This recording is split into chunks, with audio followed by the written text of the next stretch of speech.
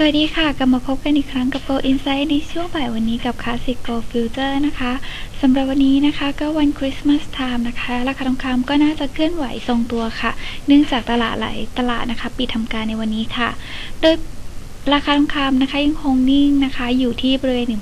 1,658 ค่ะ ก็ทรงตัวนะคะ อย่างที่บอกก็คือปิดตลาดหลายตลาดในวันนี้นะคะ เนื่องในวันคริสต์มาสรวมไปถึงการลดพอร์ตการลงทุนของนักลงทุนบางส่วนรวมไปถึงกองทุนต่างๆ ก่อนช่วงวันหยุดยาวค่ะ ก็ทำให้ปริมาณการซื้อขายค่อนข้างเบาบางนะคะ ทั้งนี้ค่ะนักลงทุนก็ต่างจับตาดูเกี่ยวกับการเจรจา physical cliff นะคะ ในวันที่ 27 ธันวาคมนี้นะคะว่า ผลจะเป็นอย่างไรนะคะ ซึ่งความไม่แน่นอนจากการเจรจาดังกล่าวเนี่ยอาจจะส่งผลทำให้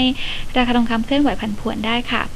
ทั้งนี้นะคะนักวิเคราะห์หลายหลายท่านนะคะก็มีการคาดการณ์แนวโน้มเศรษฐกิจโลกในปีหน้าค่ะ ว่าอาจจะมีแนวโน้มเชิงลบมากขึ้นนะคะ ไม่ว่าจะเป็นความไม่แน่นอนในตะวันออกกลาง หรือวิกฤตหนี้ของทางยูโรโซนนะคะรวมไปถึงหน้าผาทางการคลังของสหรัฐเรื่องการแก้ไขปัญหาดังกล่าวนะคะ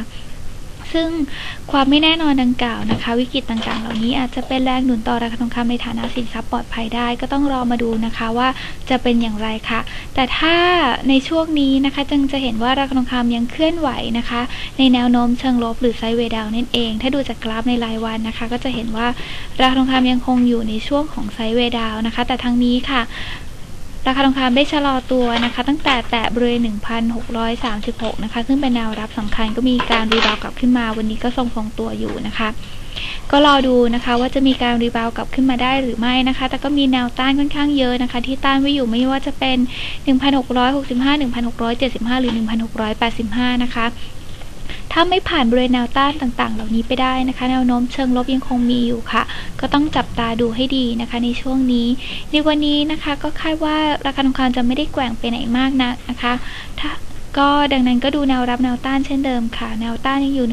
1,670 1,675 และแนวรับ 1,650 และ 1,645 นะคะสำหรับการวิเคราะห์ราคาทองคำในวันนี้จบลงเพียงเท่านี้ค่ะ สวัสดีค่ะ